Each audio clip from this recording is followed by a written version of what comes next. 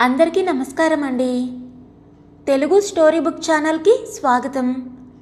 ఇప్పుడు మనం డి కామేశ్వరి గారు రచించిన కొత్త మలుపు అనే కథలోని ఐదో భాగాన్ని వినేద్దామండి. లాయర్ రామనాథం గారు అబ్బాయ సురేష్ అంది తెల్లబోతు. ఆమె మొహం ఒక్కసారిగా వివరణమైంది. రూప గాబరాగా ఆంటీ ఏమైంది? ఆయన మీకు బాగా తెలుసా? అంది. సుమతి ఒక్క క్షణంలో తేరుకొని హా తెలుసు బాగా తెలుసు. ఆయన లాయరే కదా అంది తడబడి. మరో లాయర్ కొడుకు మీద కేసు పెట్టాలని సుమతి సందేహిస్తుందేమో. తోటి లాయర్తో విరోధం అవుతుందని కేసు అంగీకరించదేమోనని రూప గాబరా పడింది. రామనాథం గారి కొడుక ఈ సురేష్ ఇంత వాడయ్యాడన్నమాట. తండ్రికి తగ్గ తనవిడాడన్నమాట వండర్ఫుల్. బహుశా కొడుకు తరపున తండ్రే కేసు తీసుకుంటాడు. మా ఇద్దరికి పోటీ అన్నమాట. భేష్ చూద్దాం గెలుపు ఎవరిదవుతుందో. రూపా అన్నట్టు మనం కోర్టు నోటీస్ ఇచ్చే ముందు ఒకసారి వెళ్ళి సురేష్ తండ్రిని కలుసుకొని మాట్లాడి పరిస్థితి వివరించి చెప్పు. ఆ తండ్రి ఏమంటాడో విను. కొడుకుని మందలించి నీకు సహాయపడగలడేమో అడిగి చూడు. మన వైపు నుంచి మనం అన్ని ప్రయత్నాలు చేశాకే కోర్టుకు ఎక్కినట్టు ఉండడం మంచిది. రేపే వెళ్ళి ఆయన్ని కలుసుకో. ఆయన ఏమన్నది రేపొకసారి వచ్చి చెప్పు. ఈలోగా నేను కేసు గురించి ఆలోచిస్తాను. కేసు పెట్టే ముందు లా పాయింట్లు చూడాలి కదా అయ్యో అప్పుడే పన్నెండు అయింది ఒంటరిగా ఎలా వెళతావు? పద నిన్నింటి దగ్గర దించొస్తాను అంది. వంట ఆవిడ్ని నిద్రలేపి ఆవిడ్ని తోడు తీసుకొని రూపని దింపి రావడానికి బయలుదేరింది సుమతి. ఆంటీ నాకు ఇంట్లో నుంచి బయటికి వెళ్ళడానికి పర్మిషన్ దొరకడం లేదు. సురేష్ ఇంటికంటే అమ్మ అస్సలు ఒప్పుకోదు. ఎలా ఆంటీ? అమ్మ వాళ్ళకి ఇలా మిమ్మల్ని కలుసుకున్నట్టు కేసు పెట్టదలిచినట్లు ఇప్పటి నుంచి చెప్పడం మంచిదంటారా? సాలోచనగా అడిగింది రూప తోవలో. సుమతి ఒక్క క్షణం ఆలోచించింది. ఇప్పుడే చెబితే వాళ్ళు ఒప్పుకోరు. తమ పరువు కూతురి భవిష్యత్తు నాశనం అవడానికి ఏ తల్లిదండ్రులు ఇష్టపడతారు? కోర్టుకెక్కితే అంతా బయటకొచ్చి నీకింక ఈ జన్మకి పెళ్ళి కాదన్న భయం వాళ్ళకుంటుంది అందువల్ల నిన్ను నీ ఆలోచనని సమర్థించిన నన్ను దుయ్యబట్టి మన ప్రయత్నానికి అడ్డు తగలొచ్చు. అంచేత ఇప్పుడు చెప్పడం మంచిది కాదు. ఎలాగో ఏదో వంకన రేపు సురేష్ ఇంటికెళ్ళు. ఇలాగే రేపు రాత్రి పది గంటలకి మా ఇంటికి రా. ఆఖరిసారిగా మనం అన్నీ డిస్కస్ చేసి నేను నోటీస్ తయారు చేస్తాను. మాటల్లో ఇల్లొచ్చింది. రూపని గుమ్మం దగ్గర విడిచి చెయ్యి నొక్కి అభిమానంగా భుజం తట్టి సెలవు తీసుకొని వెనక్కి తిరిగింది సుమతి. రూప చప్పుడు లేకుండా తాళం తీసి లోపలికెళ్ళింది. ఎక్కడికే బయలుదేరావు? ముస్తాబై చెప్పులు వేసుకుంటున్న రూపని తీక్షణంగా చూసింది పద్మావతి. అమ్మా ఒక్కసారి సురేష్ వాళ్ళ ఇంటికెళ్ళి వాళ్ళ నాన్నగారితో మాట్లాడాలి. అరగంటలో వచ్చేస్తాను. ఏంటి? ఇంకా సిగ్గు లేకుండా వాళ్ళ ఇంటికెళ్ళి వాళ్ళ నాన్నతో మాట్లాడతావా? ఏం మాట్లాడతావే? కరుగ్గా అడిగింది. అంతా వాళ్ళ వాళ్ళకి తెలియాలి. నేను వెళ్ళి మాట్లాడాలి. చాలు. చేసిన నిర్వాకం చాలు. నువ్వు వెళ్ళి మాట్లాడినంత మాత్రాన ఆ తండ్రి మంగళసూత్రం కట్టించడు. మీ నాన్నకి తెలిస్తే చంపుతాడు. నోరు మూసుకొని లోపలికెళ్ళు. ఇప్పటికే మీ నాన్న చేతిలో తిట్లు తినలేక చస్తున్నాను. ఈ సంగతి తెలిస్తే నా ప్రాణం తీస్తారు. నే పల్లె నీ గోల. వెళ్ళాలంటే మీ నాన్నను అడిగి వెళ్ళు. పద్మావతి కోపంగా అంది. రూప తల్లి వంక ఒక్క నిమిషం చూసి అమ్మా ఇది నా జీవిత సమస్య. నా సమస్యని నేనే పరిష్కరించుకుంటాను. నాకు అడ్డు చెప్పకు. నాన్న అడిగితే నేనే చెప్తాను జవాబు. తల్లి జవాబుకి ఎదురు చూడకుండా వెళ్ళిపోయింది రూప. కూతురి మొండితనానికి ఆ ధైర్యానికి విస్తుపోయి చూస్తూ ఉండిపోయింది పద్మావతి. లాయర్ రామనాథం గారిది మేడ ఇల్లు. ఆయనకి లాయర్గా సంపాదించిందే కాక పిత్రార్జితం కాస్తో కూస్తో ఉంది. ఇద్దరు మగపిల్లలు ముగ్గురు ఆడపిల్లలు ఆయనకి. పెద్ద కూతురికి మాత్రం పెళ్ళయింది. పెద్ద కొడుకు ఇంజనీరింగ్ పాస్ అయ్యి మొన్ననే ఉద్యోగంలో చేరాడు. సురేష్తో పాటు ఆడపిల్లలంతా ఇంకా చదువుల్లో ఉన్నారు. పెద్ద స్థితిమంతులు కాకపోయినా దేనికి లోటులేని సంసారం వారిది. రూప వాళ్ళ ఇంటికి వెళ్ళేసరికి వీధి వరండాలో రామనాథం గారు కూర్చొని కాఫీ తాగుతున్నారు. అప్పుడే కోర్టు నుంచి వచ్చి ఆయన భార్య శారదాంబ పక్కనే మరో కుర్చీలో కూర్చొని మాట్లాడుతుంది. రామనాథం గారిని చూడగానే సురేష్ తండ్రిని పోలాడని పోల్చింది రూప. నలభై ఏళ్ళ వయసులోనూ మంచి రంగులో వడ్డు పొడుగ్గా భారీగా ఉన్నాడాయన. బట్టతల అయినా మంచి వర్చస్సుంది ఆయన మొహంలో. ఆయన ముందు ఆయన భార్య చాలా పొట్టిగా పీలగా చామన ఛాయ రంగులో అనాకారిగా ఉందనిపించింది రూపకి. గేటు దాటి లోపలికొచ్చిన రూపని ఇద్దరు కుతూహలంగా చూశారు. కూతురు కోసం ఎవరో స్నేహితురాలు వచ్చుంటుంది అనుకున్నారు. నమస్కారం అండి అంది రూప. జంకు బంకు లేకుండా. ఎవరి కోసం అమ్మాయి? మా నళిని కోసమా? అంది శారదాంబ. కాదండి. నేను సురేష్. ఓ సురేష్ క్లాస్మేట్వా? ఏం కావాలి? ఏదైనా నోట్సులు అవి? వాడింట్లో లేడే అంది మళ్ళీ ఆవిడే రూపని కుతూహలంగా చూస్తూ. నేను అతని కోసం రాలేదు. మీతో మాట్లాడాలని పనుండొచ్చాను. రామనాథం గారి వంక సూటిగా చూస్తూ అంది రూప. ఆయన ఆశ్చర్యంగా నాతో మాట్లాడాలా? అన్నారు. అవునండి అంది రూప. ఆయన భార్య మొహాలు చూసుకున్నారు. ఏ విషయంలో? అన్నారాయన కాస్త గంభీరంగా. మీ సురేష్ విషయం. రూప సూటిగా అంది. మరోసారి ఇద్దరు మొహాలు చూసుకున్నారు. ఇద్దరి మొహాలు రంగులు మారాయి. మా సురేష్ విషయమా? ఏమిటది? ఇంతకి నువ్వెవరమ్మాయివి ఆయన ప్రశ్నలో కుతూహలంతో పాటు ఆరాటం తొంగి చూసింది. మీతో కాస్త రహస్యంగా ఒక విషయం చెప్పాలి. ఇక్కడే మాట్లాడొచ్చా? ఆయన ఒక్క నిమిషం ఆలోచించి కుర్చీలో నుంచి లేచి లోపలికి రా అమ్మాయి. ఒసేయ్ నా ఆఫీస్ గదిలోకి తీసుకెళ్ళు ఈ అమ్మాయిని అన్నారాయన. లోపలికి వెళ్ళగానే రూప తన వివరం సురేష్కి తనకి మధ్య జరిగింది. అంతా సూటిగా చెప్పేసింది. అంతా వింటున్న భార్యాభర్తల మొహాలు పాలిపోయాయి. కలవరపడుతూ ఇద్దరూ మొహాలు చూసుకున్నారు. రూప అంతా చెప్పడం పూర్తి చేయగానే రామనాథం గారు తన లాయర్ తెలివితో చప్పున మొహంలో భావం మార్చేసి గంభీరంగా అయితే ఇప్పుడు నన్నేం చేయమంటావు? అన్నారు తెలివిగా. ఆ గడుస్తానం చూసేసరికి రూపకి ఒళ్ళు మండింది. నిమ్మకి నీరెత్తినట్టు ఏం చేయమంటావు? అని అడుగుతూ ఉంటే ఆ నిబ్బరానికి ఆశ్చర్యపడింది. మీరు న్యాయవాదులు. ఒక ఆడపిల్లకి జరిగిన అన్యాయానికి న్యాయం విచారించి న్యాయం చేకూర్చగలరేమో అన్న ఆశతో వచ్చాను. సురేష్ని మందలించి బుద్ధి చెప్పి పెళ్ళి చేసి నాకు సహాయపడతారు అన్న ఆశతో వచ్చాను అంది గంభీరంగా. చూడమ్మాయి నీ పేరేంటన్నావు? రూప. చూడు నువ్వు మా సురేష్తో తిరిగే ముందు నాకు చెప్పి నా పర్మిషన్ తీసుకొని వాణ్ణి ప్రేమించి వాడితో తిరిగావా? లా పాయింట్ తీసి గంభీరంగా అడిగారాయన. శారదాంబ కొడుకు ఇంత పని ఎలా చేశాడా అని విస్తుపోతుంది. ఇరవై రెండేళ్ళ సురేష్ ఆవిడకింకా స్కూల్లో చదువుకునే కుర్రాళ్ళాగే అనిపిస్తుంది. కొడుకింత వాడయ్యాడని ఆవిడ ఆశ్చర్యపోతుంది. నిజమేనండి ప్రేమించే ముందు తల్లిదండ్రుల పర్మిషన్ తీసుకొని ప్రేమించాలని నాకు తెలియక మీ అబ్బాయి ప్రేమని నమ్మానండి మా ప్రేమ పెళ్ళిదాకా దారి తీస్తుందని నమ్మానండి తెలివిగా ప్రశ్నించిన ఆయన మీద వ్యంగ్యంగా విసురు విసిరింది రూప. ఆయన మొహం మాడింది ఆ జవాబుతో.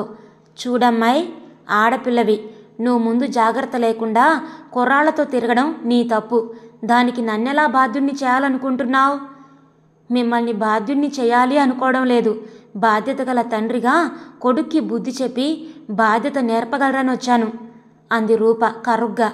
రూప తను అనుకున్నంత తెలివి తక్కువది కాదని మాటకి మాట జవాబివ్వగలదు భయం లేకుండా అని రామనాథం గారికి అర్థమైంది.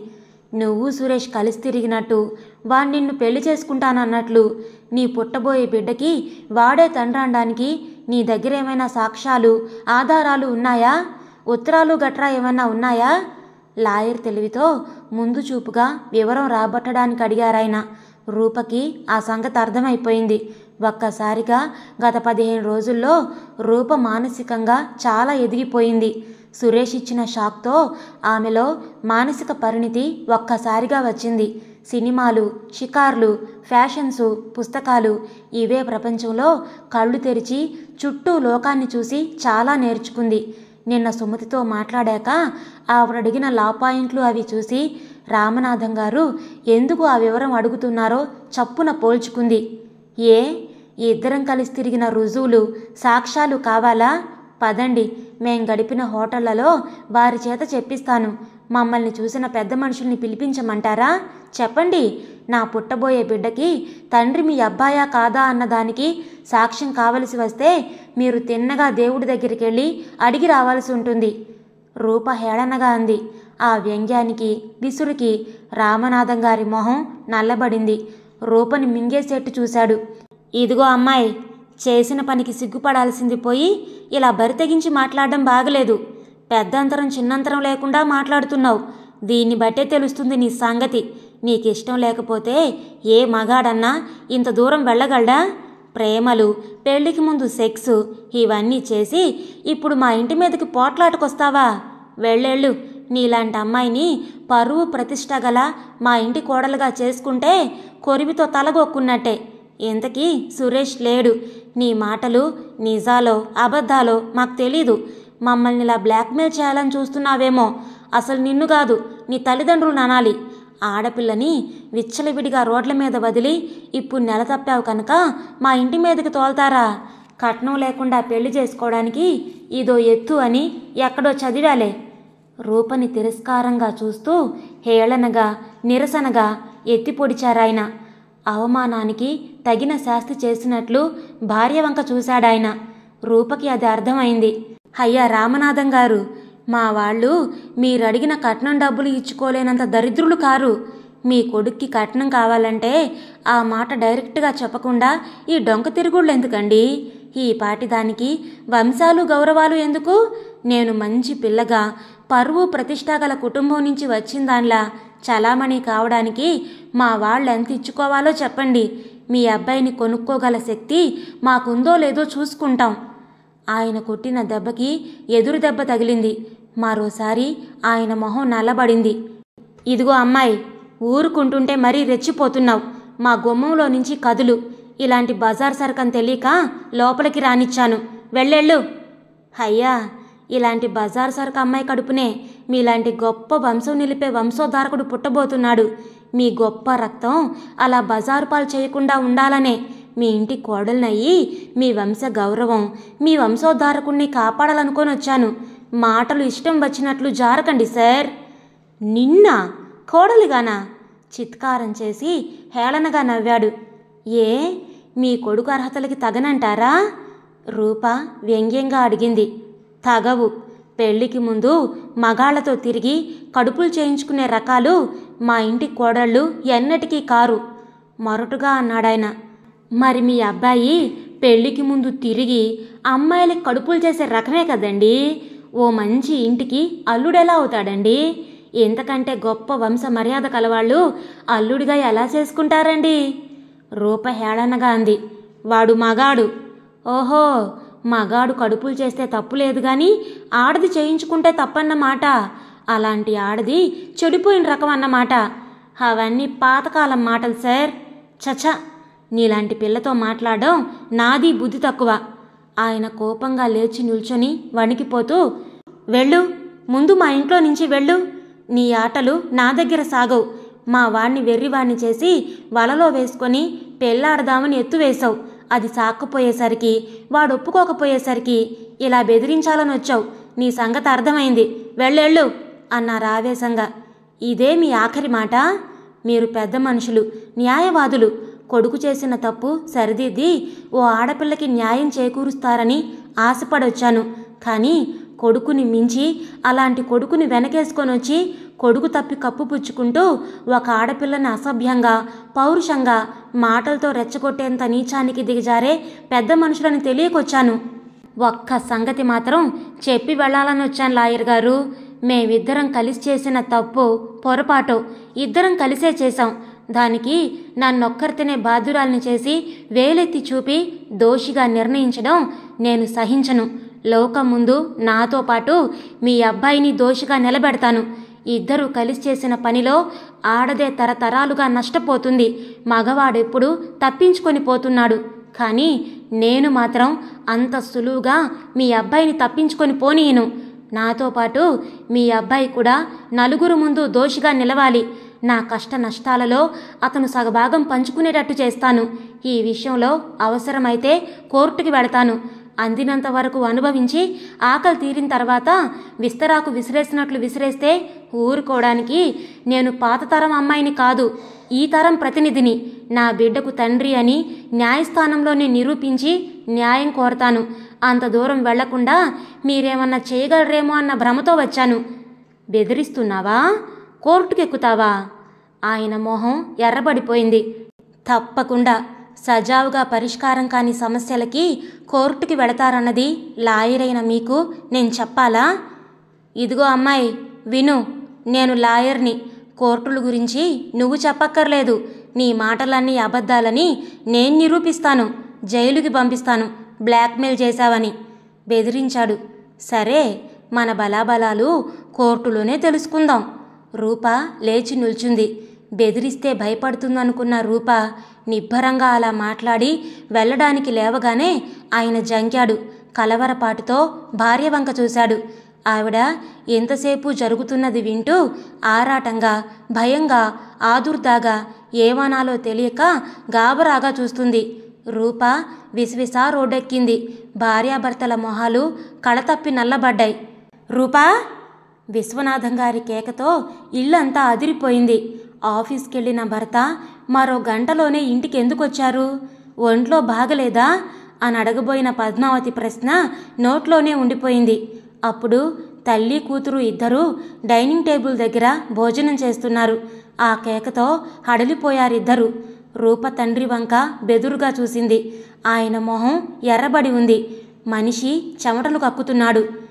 నిన్న లాయర్ రామనాథం గారింటికి వెళ్ళావా? గర్జించారాయన తండ్రికి ఎలా తెలిసిందా అని తెల్లబోయింది రూప. భరతకి ఆ విషయం తెలిసిపోయినందుకు రూపని ఇంట్లో నుంచి ఎందుకు పంపావని తన మీద విరుచుకు పడతాడని పద్మావతికి భయంతో కాళ్ళు వణికాయి రూప తలదించుకుంది. జవాబు చెప్పు. ఎందుకు వెళ్ళావు వాళ్ళ ఇంటికి నా పరువు నడి బజార్లో పెట్టడానికి వెళ్ళావా? నా పేరు నీ పేరు ఏడ్చడానికి తయారయ్యావా? నీకెంత సాహసం ఎంత ధైర్యం? నిన్నసలు గుమ్మం కదలడానికి వీల్లేదన్నాను. అసలు ఇంట్లో నుంచి ఎందుకు వెళ్ళావు? ఎలా వెళ్ళావు? అసలు నువ్వు దాన్ని ఇంట్లో నుంచి ఎందుకు కదలనిచ్చావు? ఇంత జరిగినా ఇంకా నీకు బుద్ధి రాలేదా? కూతుర్ని ఆ మాత్రం అదుపులో పెట్టుకోలేని దానివి నువ్వేం తల్లివి? నేను అది గుమ్మం కదలడానికి వీల్లేదని మరీ మరీ చెప్పినా నా మాట లక్ష్య పెట్టకుండా దాన్ని నాకు తెలియకుండా బయటికి ఎందుకు వెళ్ళనిచ్చావు? భార్యని తీక్షణంగా చూస్తూ మండిపడ్డారాయన. పద్మావతి తలదించుకుంది.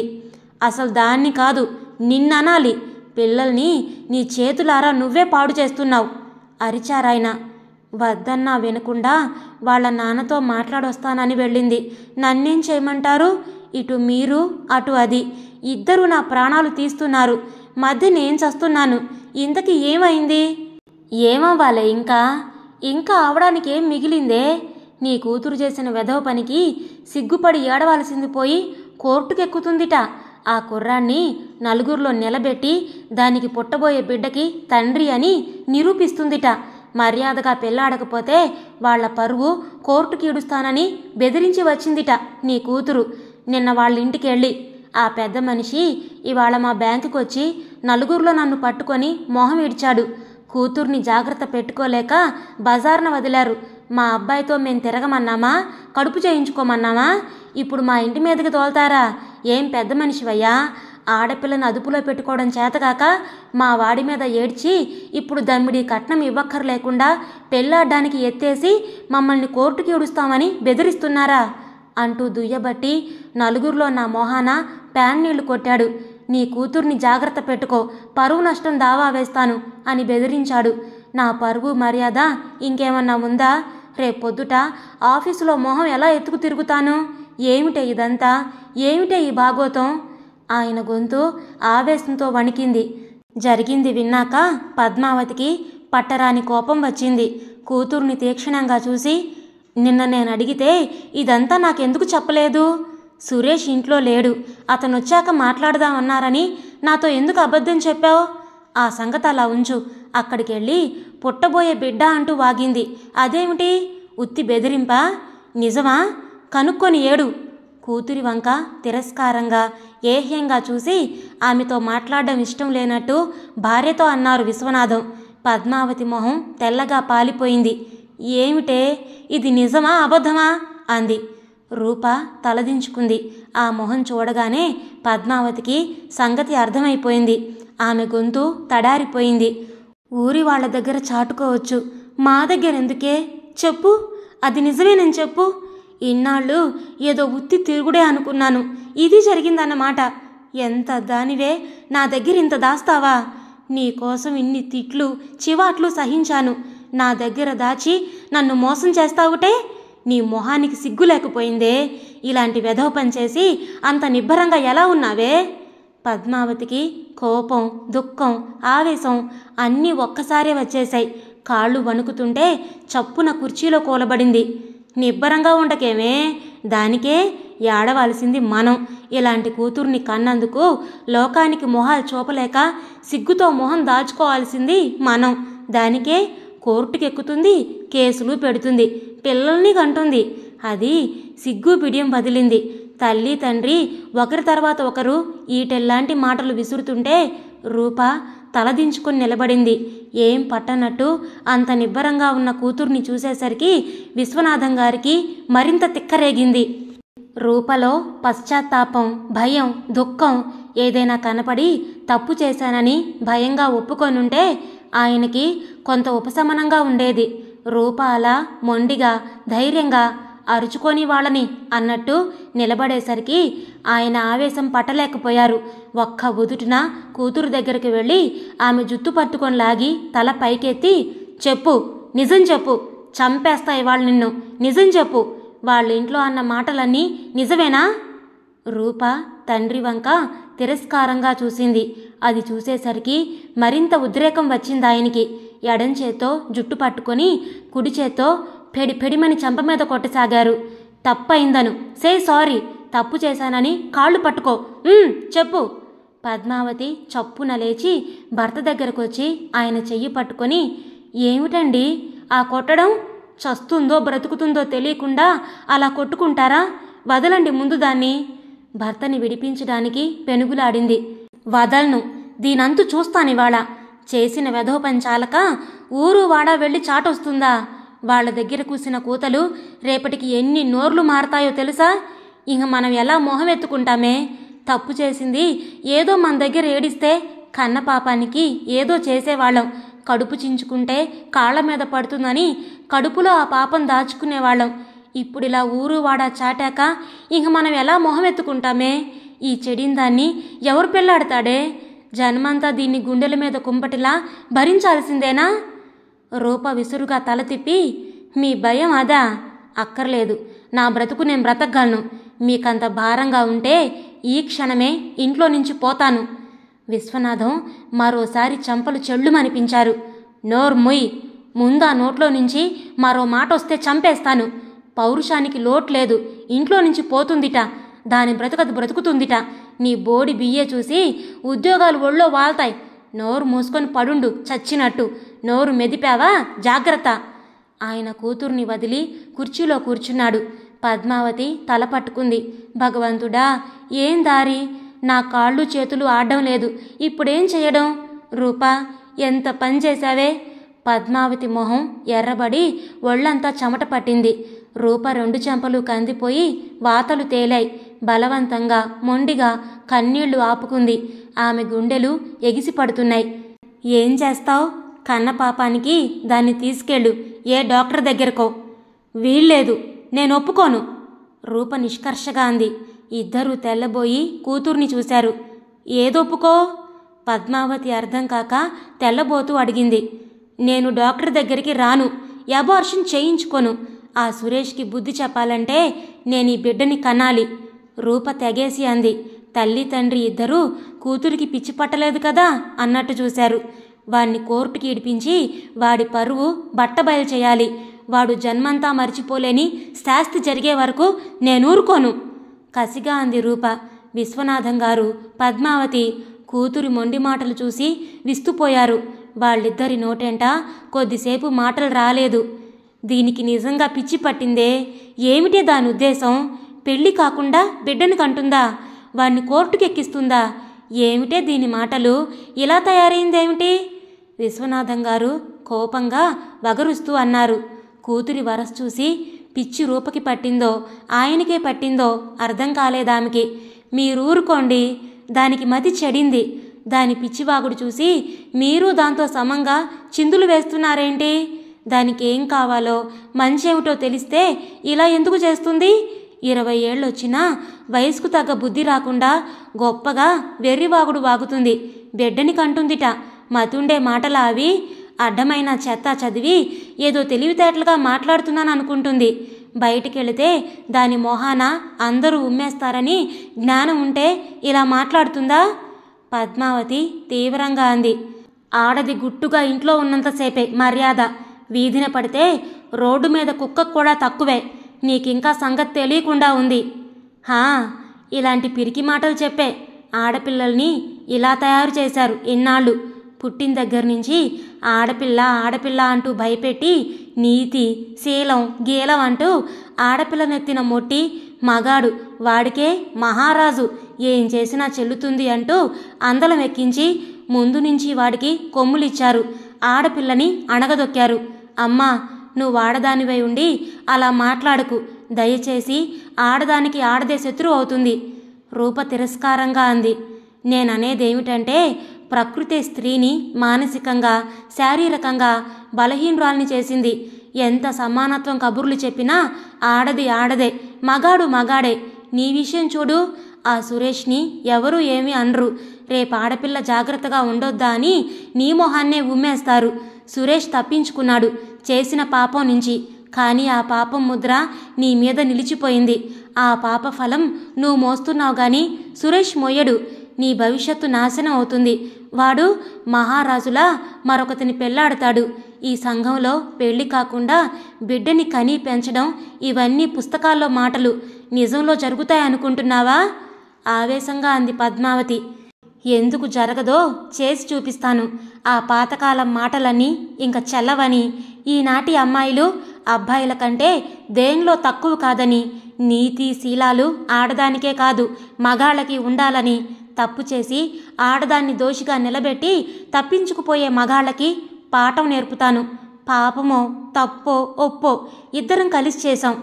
నాకు ఈ సంఘం లోకులు భవిష్యత్తు లేకుండా చేస్తే ఆ సురేష్కి లేకుండా చేయాలి.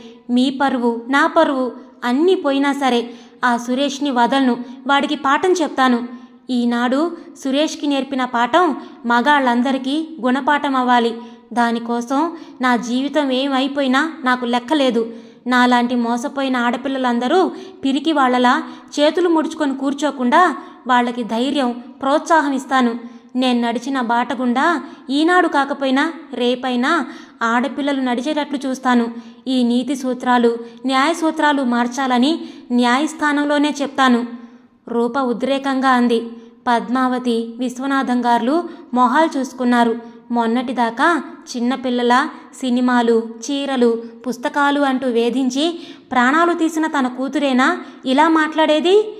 ఈ రూపలో ఇన్ని భావాలు ఇంత ధైర్యం ఎలా వచ్చాయి? ఈ ఆవేశం ఈ ఉద్రేకం ఏమిటి? ఇంత ఆలోచన ఇన్ని మాటలు ఇదెప్పుడు నేర్చింది? పద్మావతికి రూపధోరణి నమ్మసక్యం కాని విషయంలా అనిపిస్తోంది. కూతురు మూర్ఖత్వం మొండి ధోరణి ఆ మాటలు విశ్వనాథం గారికి కోపం తెప్పిస్తున్నా కోపం కంటే ఆశ్చర్యం ఎక్కువైంది ఆయనకి. రూప ఏం చేస్తుందో ఎలా సాధిస్తుందో ఏ ధైర్యంతో ఇన్ని మాటలు మాట్లాడుతుందో ఏ అండతో ఇదంతా సాధిస్తానని అంటుందో ఆయనకేం అంతుబట్టలేదు ఇంత మొండిగా ఎందుకు మాట్లాడుతుందో ఆఖరికి ఇదంతా ఎలా తయారవుతుందో అని ఆయన బుర్ర పాడైంది. పద్మ దీనికేదో పిచ్చి పట్టింది. కాళ్ళు చేతులు కట్టి గదిలో పారే ఆ పిచ్చి వదిలే వరకు గదిలో తిండి పెట్టకుండా పడుకోబెట్టు. నాలుగు రోజుల్లో దారికొస్తుంది. ఊరుకుంటున్న కొద్దీ రెచ్చిపోతుంది. కాళ్ళు చేతులు విరగ్గొడతాను. గుమ్మం కదిలితే ఈసారి. చేసి నిర్వాకం చాలు. మమ్మల్ని ఎలానైనా బ్రతకని. మా పరువు ఇప్పటికే నడిబజార్కెక్కింది ఇంకా కోర్టులు పేపర్లలో కూడా ఎక్కాలా? పిచ్చి వేషాలు ఆలోచనలు మాని ఇంట్లో పడుండు. ఆ తర్వాత నీ రాత ఎలా ఉంటే అలా అవుతుంది. ఎంత చేద్దాం అనుకున్నాను? ఎన్ని సంబంధాలు చూస్తున్నాను? మంచి మొగుణ్ణి తేవాలనుకున్నాను. మంచి ఇంట్లో పడేయాలనుకున్నాను. మన చేతిలో ఏముంది? నీ కర్మ ఎలా కలిగి ఈ పెడబుద్ధులు పుట్టాయి కూతురి భవిష్యత్తు తలుచుకుంటే ఆయనకి బాధ ఆవేదన. దాంతోపాటు ఆ కలలన్నీ కళ్ళలు చేసిన రూపం మీద కోపం అసహ్యం ఏవేవో భావాలు కలగసాగాయి. నన్నెవరూ ఏం చెయ్యలేరు ఆపలేరు. నేను అనుకున్నది సాధిస్తాను. నేనేం చిన్నపిల్లని కాను. ఇది నా జీవిత సమస్య.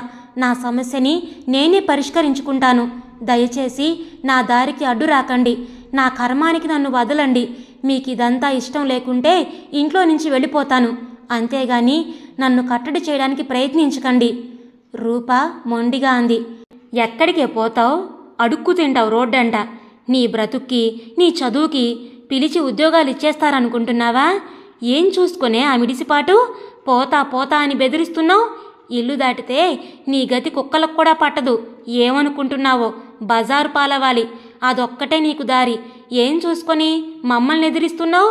నీ మేలు కోరే వాళ్ళ మీద తిరగబడుతున్నావా? ఇంత జరిగినా నీకు బుద్ధి రాదేమే? పాపిష్టిదానా నీ రాతిలా తగలబడబట్టే నీకు ఈ ఆలోచనలన్నీ వస్తున్నాయి. పద్మావతి కోపం పట్టలేకపోయింది. పద్మ దీంతో ఇంకా లాభం లేదు. దీని వరస చూస్తే ఏదో చేసేట్టే ఉంది. లాక్కెళ్ళి ఆ గదిలో పడే దాని బ్రతుకు కుక్కలు చింపిన విస్తరి చేసుకుని మనల్ని ఈ మాత్రం శాంతిగా కూడా బ్రతకనీయదు. దీన్ని వదిలితే తర్వాత సంగతి తర్వాత. ముందు గదిలో పడేసి గొళ్ళెం పెట్టు. పద. విశ్వనాథం గారు పద్మ చెరో రెక్క పట్టి లాగి గదిలోకి లాక్కెళ్ళారు వదలండి నన్ను. నేను ఇంట్లో నుంచి పోతా. నన్ను వదలండి. నన్ను మీరు బంధించలేరు. నేను అనుకున్నది చేసి తీరుతాను. నన్ను వదలండి. రూప గింజుకుంటూ పిచ్చి పట్టిన దానిలా అరిచింది. ఆ దెబ్బతో నిజంగా కూతురికి మతిస్థిమితం తప్పిందేమోనన్న అనుమానం వచ్చింది పద్మావతికి. భర్త మొహంలోకి ఆదుర్దాగా చూసింది. ఆయన ఊరిమి ఆఖరి మెట్టుకు చేరింది. పట్టరాని ఆవేశంతో రూప జుట్టు పట్టుకొని ఈడ్చుకెళ్ళి గదిలోకి తోసి నీకిదే మందు. నీ పిచ్చి కుదిరే వరకు నీకిదే శాస్తి. అంటూ బయట గొళ్ళెం పెట్టేశారు. లోపల నుంచి రూప తలుపులు బాదింది. అరిచింది. గోల చేసింది. ఆ రభసకి ఇద్దరూ బయట తలలు పట్టుకొని కూర్చున్నారు. హఠాత్తుగా మీద పడిన ఈ విపత్తు వాళ్ళిద్దరి మతులు పోగొట్టింది. అసలే రూప చేసిన పనికి మనసులు పాడైన వాళ్ళకి రూప ఈ మొండితనం వితండవాదం చూసి కర్తవ్యం తోచక తలలు పట్టుకున్నారు. మామూలుగా అయితే రూపని నాలుగు తిట్టి ఏ డాక్టర్ దగ్గరకో తీసుకెళ్ళి ఏదో చేసేవారు. రూప ఇలా మొండిపట్టు పట్టడం రామనాథం గారింటికెళ్ళి బెదిరించి రావడం కోర్టుకెక్కుతాను అండం ససేమిరా అబార్షన్ చేయించుకోను అండం ఇదంతా వాళ్ళకి మరింత మతిపోగొట్టింది దానికేదో పిచ్చి పట్టింది. ఆ కుర్రాడలా నమ్మించి మోసం చేశాడని షాక్ తగిలినట్టుంది. ఆ కోపంలో ఆ ఆవేశంలో ఏదో చేసి కసి తీర్చుకోవాలని పిచ్చి పిచ్చిగా ఆలోచిస్తుంది. నాలుగు రోజులు పోతే ఆవేశం చల్లారితే అదే దారికొస్తుందిలేండి. నెమ్మదిగా దానికి మంచి చెడ్డ రోజు బోధపరుస్తాను. రెండు రోజులాగి ఏ డాక్టర్ దగ్గరికైనా తీసుకెళ్తాను. నిస్పృహగా నీరసంగా కూలబడిన భర్తకి ధైర్యం చెబుతూ అంది పద్మావతి. విశ్వనాథం గారు శూన్యంలోకి చేతులాడించి ఏమో ఏం చేస్తావో? నాకు మతి పోతుంది తలుచుకుంటే అంటూ తల పట్టుకొని పడగదిలోకి వెళ్ళిపోయారు. ఇంతటితో కొత్త మలుపు అనే కథలోని ఐదో భాగం పూర్తయిందండి. మీకు నచ్చిందా? నచ్చితే లైక్ చేయండి షేర్ చేయండి. అలాగే మీ విలువైన అభిప్రాయాలను కమెంట్స్లో తప్పకుండా తెలియచేయండి. ఆరో భాగంతో మళ్ళీ కలుద్దాం. అప్పటి వరకు ఉంటానండి.